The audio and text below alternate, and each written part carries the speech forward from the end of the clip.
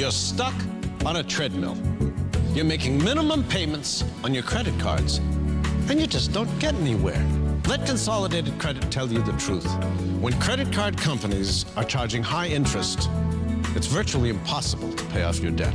Let's say you owe $5,000 and your rate is 21%. Of your $100 minimum payment, $87 is interest. It'll take you over 33 years to pay off that debt. Call Consolidated Credit. They'll get the credit card companies to reduce or eliminate your interest. Get off the treadmill. Get on with your life. Call Consolidated Credit. They're the freedom people. Call now 1 800 595 0896. 1 800 595 0896. Consolidated Credit. When credit card debt is the problem, they're the solution.